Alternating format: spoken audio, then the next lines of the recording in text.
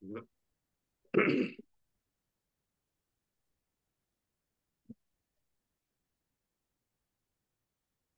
الله الرحمن الرحيم والصلاة والسلام على رسول الله وعلى آله وأصحابه ومن تبعهم بإحسان إلى يوم الدين. أما بعد فإن خير الحديث كتاب الله وخير الهدي هدي النبي صلى الله عليه وسلم وشر الأمور محدثاتها وكل محدثة بدعة وكل بدعة ضلالة وكل ضلالة في النار أما بعد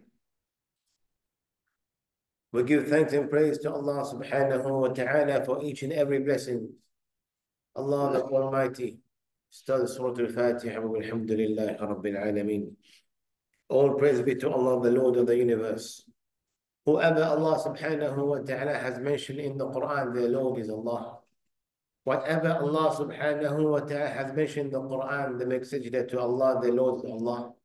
But therefore Allah Azza wa Jal start with Bismillah ar-Rahman ar-Rahim, Alhamdulillah Rabbil Alameen, praising Allah, the Almighty, the Lord of the universe. Last week, Alhamdulillah, we have spoken about the ghusl, ritual bath. Uh, spoken about how we perform it and why do we perform it. Allah subhanahu wa ta'ala mentioned you know, يريد الله بكم اليسر ولا يريد بكم العسر. Allah subhanahu wa ta'ala, He wants to make things easy for you. Islam in itself is easy. Like how the Prophet Muhammad mentioned, Islam is easy. Whoever makes it hard or fall into extremism, Islam is going to overtake him which means he's going to feel that Islam is hard and he will not be able to continue. Whenever there's any kind of path that is hard, you don't usually carry on the path, yes or no? You don't carry on, you stopped. But Islam is not like this. Islam is easy in itself. For who are those who actually find Islam hard? Are those people who innovate into the religion? Are those people who are actually bringing the deen into a way that they want? Not like the Prophet Muhammad sallallahu alayhi wasallam. Allah, Islam is easy. Huh? Allah subhanahu wa ta'ala wants to make things easy. يخفف عنكم وخلق الإنسان ضعيفا Allah says, indeed, He wants to make things khafif upon you. Because He has made insan in some kind of weaknesses way. Allah Azza wa Jal has given alternatives for everything. But there's one thing that there's no compromise. If ever you're not able to fast, Huh? You can skip the day and replace it after. Yes or no? If you're not able to give zakah, you can give later on. You're not able to go for hajj, you can do it later on. But if ever when it comes to salah, even though you are on the battlefield, you have to pray. Even though you are on your bed in the hospital, you have to pray. There's nothing that says, okay, I will not pray Maghrib and Isha today, I'll pray tomorrow. Nothing like this in Islam. Whoever misses a prayer, amdan, bila udhr, whoever misses a prayer without any excuse, he has fallen in one of the kaba'ir, in one of the major sin. And now what he has to do, he has to replace that prayer and make tawbah to Allah Azza wa Jal.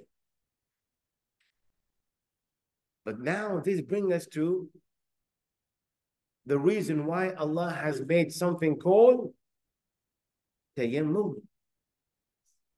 Ya Allah, if there's no water, maybe we can delay the prayer, yes or no? This is what we think. There's no water for wudu. Maybe I delay the prayer. Ah. There's no water. فتيمموا صعيدا طيبا. If there's no water, there's no excuse, my friend. You still have to pray. You still have to pray. For today, inshallah, we're going to speak about tayammum, which is known to be as the dry ablution. Tayammum, known as the dry ablution. When do we do it? And how do we do it? And what is the purpose of tayammum? We're going to speak about that today, in bi'idhnillah ta'ala. Maybe I can put that on online over here.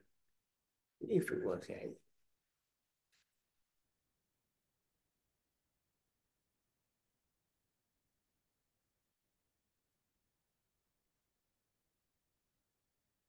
Uh,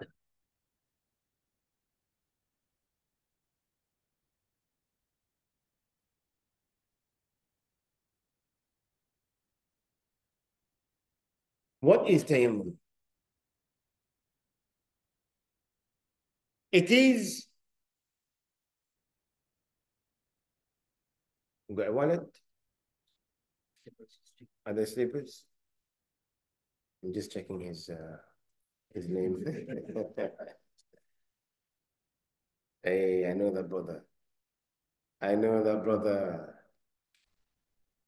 I don't want to check anything more than that. Take with your right hand. Barakallahu feek. So Alhamdulillah, you're here. If in the UK it's gone, ma'asalama. You would hear ting, ting from your phone. 300 pounds is gone. 200 pounds gone. Ajib. Hey, seriously, you're finished. Allah. You know, this is in Dubai. This is what really makes us different from other countries. The safety that you find over here. Ajib. If you compare to any other countries, my, you can't even leave your car key inside your car. Evident. You're scared. Yeah. Well, I don't want to mention any name. Just keep it, keep it. hey, Allah, it is. The whole world. Over here, alhamdulillah, you don't find. Ni'mah. Uh, Na'am. Tayammum is a dry ablution using sand or dust, which can be performed in a place as a substitute to ghusl and wudu if no clean water is available. Question, how do we know that a water is not clean? Two things. This is the color of water. If anything other than that come in a different color, it's not water. If the color of the water and the smell of the water changes, then this water is not pure. If a water's color and smell changes, then the water is not pure. You cannot perform wudu with it, neither ghusl. If ever, and I want to make it easy, any water that's flowing and is going from one place to the other, they're pure. Why? Because they are moving. They're not stable water. The sea water is pure. River water is pure. Any kind of water that's that's you know that's flowing away is pure, moving. But if a water in a dam, for example, or the water are just stable, they don't you they don't move.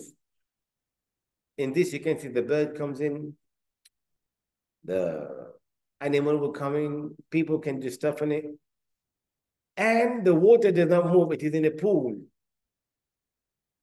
In this case, we do not make wudu with this water because the water is not moving. Definitely this kind of water, the smell and the color of it are different. So these kind of water are known to be impure. So if ever there are no water, all the water that we have is impure, in this case, we perform tayammum. We're going to speak about that. When we spoke about wudu, we said, يا أيها الذين آمنوا إذا قمتم إلى الصلاة فاغسلوا وجوهكم. We spoke about the ayah of Surah Al-Ma'idah. Huh? And Allah subhanahu wa ta'ala spoke about ghusl. We spoke about ghusl last week. Huh? Today we speak about tayammum. When Allah says, فَتَيَمَّمُوا صَعِيدًا طَيِّبًا فَامْسَحُوا بِوُجُوهِكُمْ وَأَيْدِيكُمْ إِنَّ اللَّهَ كَانَ عَفُوًا غَفُورًا This is mentioned in the Quran. And when you find no water, perform tayammum with clean earth and rub your face and your hand. If you find no water, which we're going to speak about now, when do we don't find water? All right? This is something that we need to understand. Tayammum is that sometimes people don't know when to do it and how to do it. And sometimes they may do it, but they don't know that they have the chance of making it. Making Whenever we are in a situation when there's no water, and we want to speak about now, when do we perform tayammum? Whenever there is no water, and we either want to perform wudu or ghusl, and there's no water available, in this case, we perform tayammum. Number one. But sometimes you may have water. You have a bottle of water. But then you're on a journey. You're on a travel. But you got this water only with you. And you have to pray. What do you do in this case? Do you drink? Do you use that water for wudu? Or you keep it for drinking? Keep it for drinking. Because your life comes first. There's no alternative. If you're going to die, you're going to die. But if ever there's no water, you can make tayammum. صح? For therefore, if ever you have insufficient water, then in this case, you can perform tayammum. All right? This is something we need to understand. Number two, when using water poses a health risk. Do you know that sometimes when you use water, it can even kill you.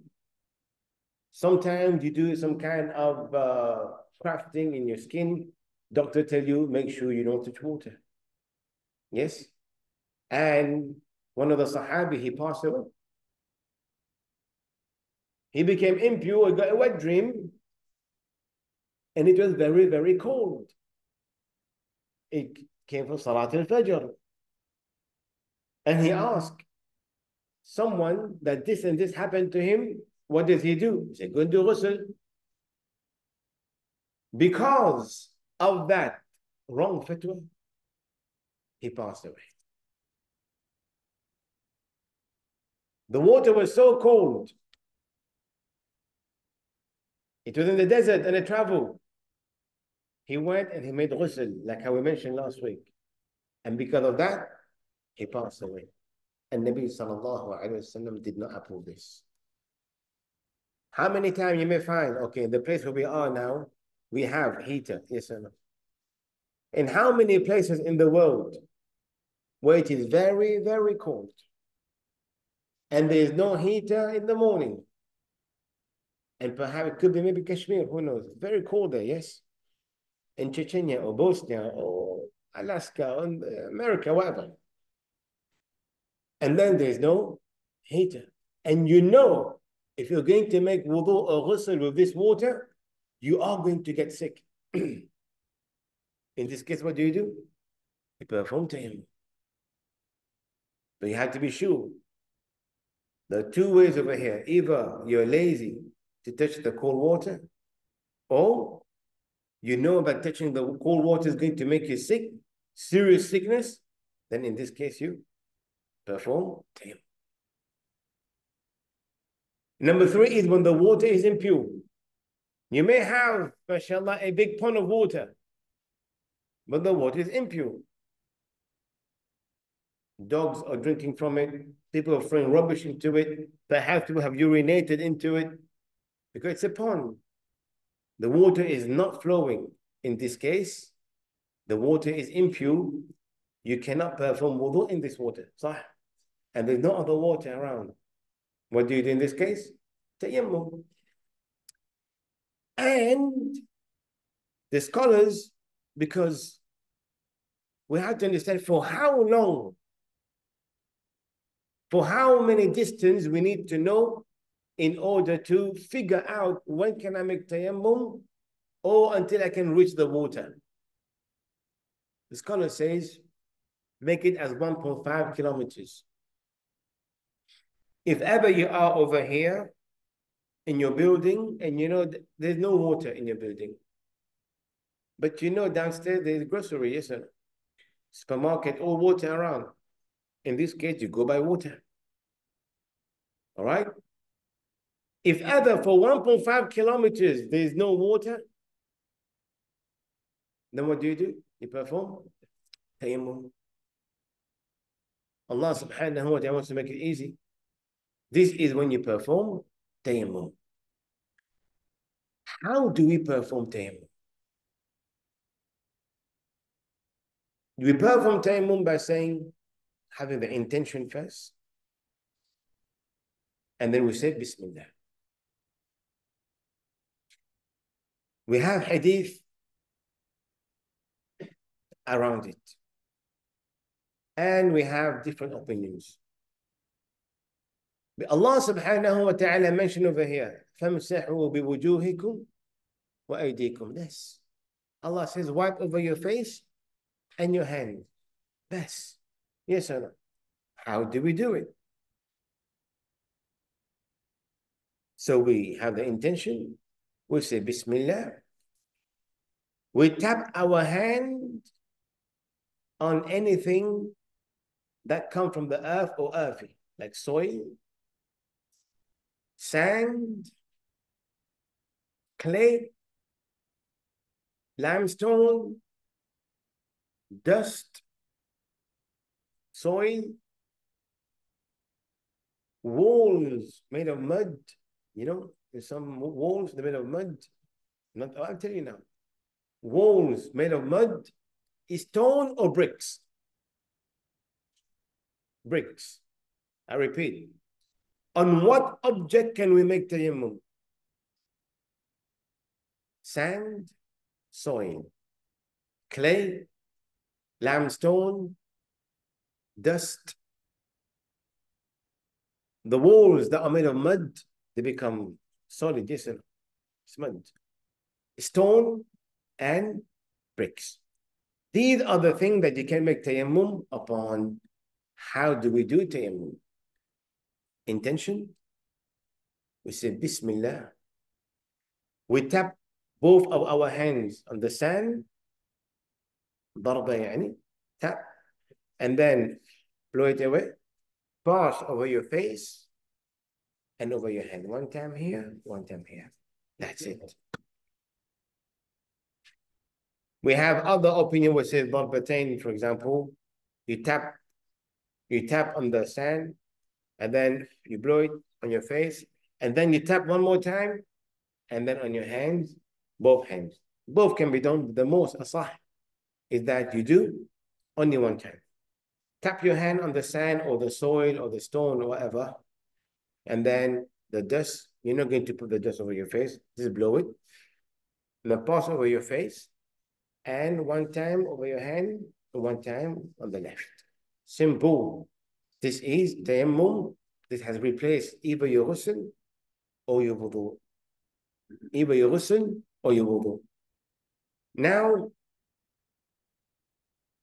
I know you're going to have a lot of questions. Perhaps later we can take it. But in the other masjid, the question of what about one of the brothers said over here, the wall around me. This is not made up of mud. This is paint. Can I make tayammum over it? No, paint, you can't make tayammum over paint. But if ever there's no other alternative, no sand and no soil, no limestone, no clay in front of you, then if the wall has dust, you can make over it. Pass your hand over the dust of the wall, blow, face, right, and left. Simple as that. This is the way of making tayammum as per the sunnah of the Prophet Muhammad sallallahu alayhi wa sallam. Once we have made tayammum, it is as if we have made wudu. We can go and pray our prayers. Now, when does our tayammum break? Or until when we can keep the tayammum? Your tayammum break just like wudu breaks like how we mentioned last time, passing of the wings, whatever come out of the private parts, eating the camel meat, and then. Uh... And when does your tayammum break as well? When water has been found. When water has been found, halas, your wudu is, yo, tayammum is broken. In this case, you had to go make wudu. If ever, I made tayammum and then I prayed. And after the prayer, I got water. What do I do? The prayer which I prayed is valid. Now for the next prayer, you have to make normal wudu. All right? What actually breaks tayammum, whatever breaks wudu, breaks tayammum. In addition to that, is when water is found, now I'm able to make wudu with water. At that moment, my tayammum has been broken and I have to do wudu over say. All right? This is something in regards to tayammum. One day, the hadith of uh, Amr bin As. Again, uh, they were on a safar campaign in that is Salasil, on a campaign in the desert. Amr bin As, he got up, he had a wet dream. And he knows that if ever he were to make ghusl in that cold weather, he would die. He knew. So what did he do? He performed tayammum and then he prayed imam for the people. He made imam for the people. So some Sahaba went back to the Prophet Muhammad and said, Ya Rasulullah, Amr bin As, he became junub. And on top of that, he made tayammum. And on top of that, he led us in prayer. And Nabi sallallahu alayhi wa called Amr bin As. Is this what you did? He said, Yes, Ya Rasulullah. And he said, What has kept me away from ghusl is what Allah subhanahu wa ta'ala has mentioned. وَلَا تَقْتُلُوا أَنفُسَكُمْ Don't kill yourself. Upon this, the Prophet Muhammad sallallahu alayhi wasallam smiled. He smiled. And he said, Surely Allah the most merciful say anything. Indeed, Allah is the most merciful. For Nabi, he smiled. And his smile in silence means his approval. This is what happened. For therefore, these are actually being backed by the Quran and the hadith of the Prophet Muhammad sallallahu alayhi wasallam. But these are the things that we need to understand in regards to uh, tayammum. How tayammum was established? I can read that. Aisha radiallahu anha said, I borrowed a necklace from Asma and it was lost. Aisha borrowed a necklace from, his, from her sister, Asma bin Abu Bakr. So the Prophet Muhammad sent a man to search for it and he found it.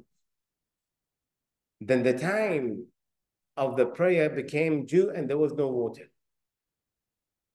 They prayed without ablution and they informed the Prophet Muhammad sallallahu alayhi wasallam. And this is when the verse of Tayammum was revealed. They prayed without wudu.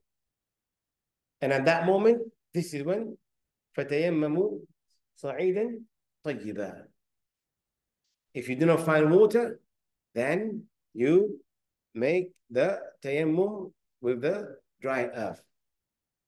So then uh, Usayd bin Hudayr said to Aisha, may Allah reward you. By, by Allah, whenever anything happened which you did not like, Allah brought good for you and for the Muslims in that. So it tells you over here that these are backed by the Quran and the Sunnah. And again, not only for that, even for people, for example, who are injured, for example, making wudu, let's say, for example, a plaster and bandage. How do you wipe over them or simply do tayammum?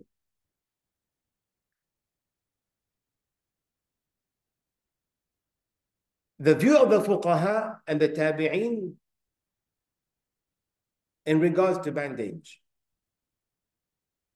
Ibn Umar did wudu when his hand was bandaged. Ibn Umar, he did wudu when there was bandage in his hand. So he wiped over it and over the bandage. And he washed everything else. And he said, this is sounding narrated by Ibn Umar. Listen, this is what happened to us sometimes. Listen. If ever we have a bandage in our foot or in our hand, wherever, perhaps the places where we perform wudu, we make normal wudu and normal ghusl. When you come to that place, just wipe over it one time. That's it. This is something that we can do when it comes to the bandage. But if ever there's any other disease that the doctor tells you do not touch water for two, three days, in this case, sometimes you're burned, yes, sir. I know some people that have the burn 50%, 35%, grafting. At that time, you do not touch water. In this case, you perform tayammum until you're able to. No problem at all. All right? This is in regards to tayammum.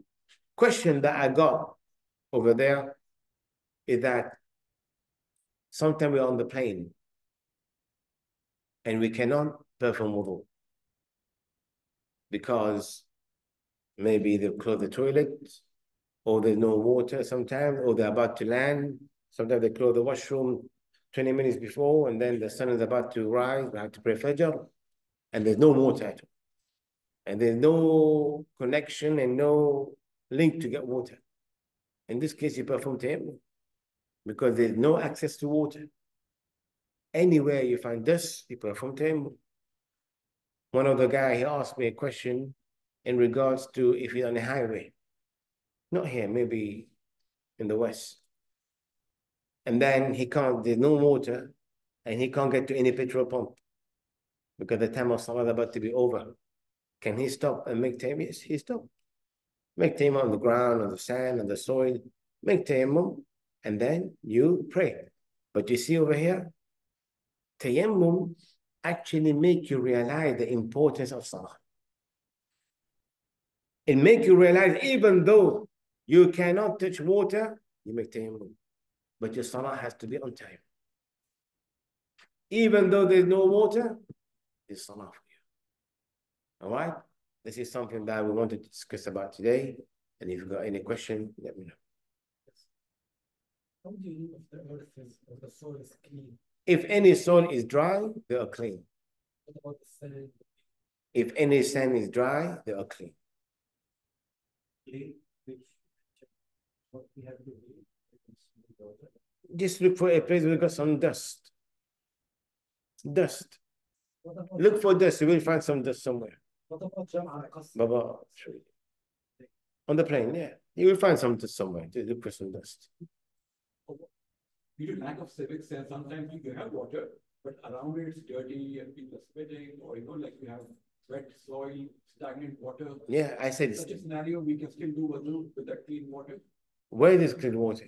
Like you have clean water coming from the tap, But around it, we have puddles of water which we don't know whether it's clean. No, in this case, you have to because in this case, the water is there and it access towards the water and it could be dirty to get towards the water, but this is totally fine. This is not an excuse for you to make the tayammum. Around it, like clean your feet, and put your feet on uh, wet water, wet Look, soil and all that. That's okay. yes, as long, look, you make your wudu. And then if ever you feel that you're going to, like the Prophet he did ghusl and then later he washed his feet.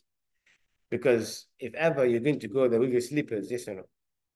I think a person, if they know that after wudu they're going to walk back on the mud that's not clean, they had to take the precaution.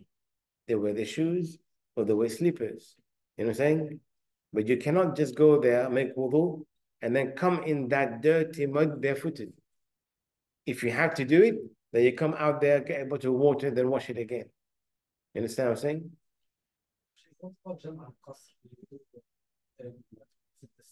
No problem. If you go, you want to combine and you want to combine your prayers and then uh, shorten your prayers, you make tayammum before that, same like wudu. Just like wudu. Let me just check online. There anyone? Yes. when small lake, one kind of any water that is not flowing, yeah, and you look at the water, the smell is different and the color is different, then don't make wudu with it. Okay? If it, if it is still, and then you know that uh, the water, the, the smell is clean and the color is like water, then you make wudu. Yes, Naam. Yes. Yes. We spoke about masih, I think two weeks ago.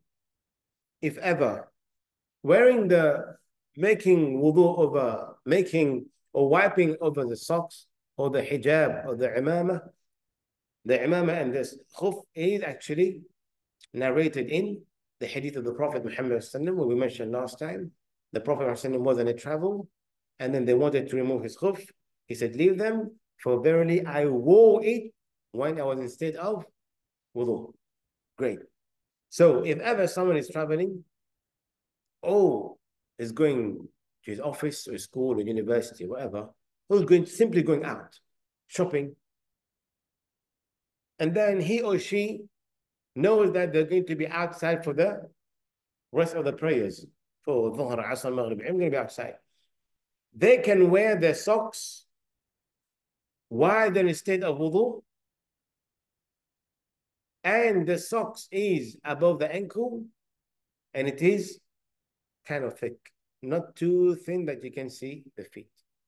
These three cri- criteria are there, then khalas. When it comes to salah time, you've broken your wudu, you make wudu, and then you wipe over your sock one time. One time, put water in the wipe over it. You have 24 hours to do this, if ever you haven't removed your socks. Above the ankle. This is the first condition. Let me just get this. A patient who is admitted in the hospital and not able to use water, how should he perform tayammum as there's no dust around in the hospital room? There will be. If ever you can't, then someone from your family bring some dust from outside. Here in Alhamdulillah, in the country over here, they will bring dust or sand or soil. Over there, if you really, because if someone really wants to pray, yeah, you can ask someone just bring some soil just to touch it, and he will do his wudu. No problem at all. This will be dirt. It won't be soil. If ever, if you feel that there are a lot of this soil, dry soil in your shoes, you want to remove them and make it, no problem. It's actually so it's it's clean, no problem. What will one do when have fever and she should take ghusl for major impurity like ghusl after menses? If ever someone has fever and uh, there is no heater and the water is very cold, she will not be able, she's fearing,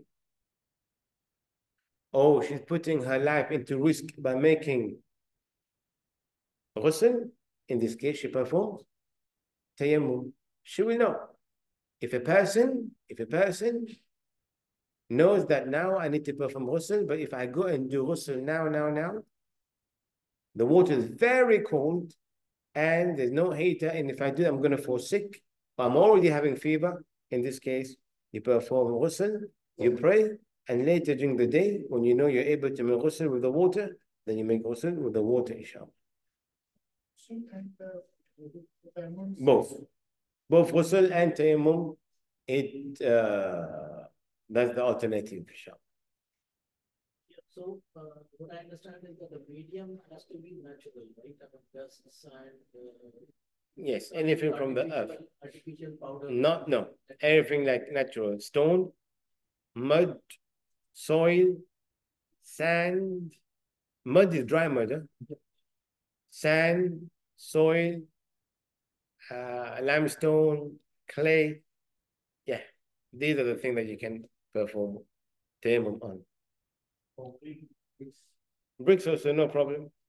Bricks, you can steal from the rock. I have this water.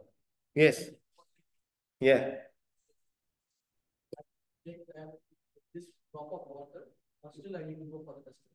No, tayammum can't be made with water.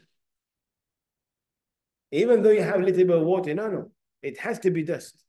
صعيدا طيبا, Allah mentioned in the Quran. Dry dust. All right?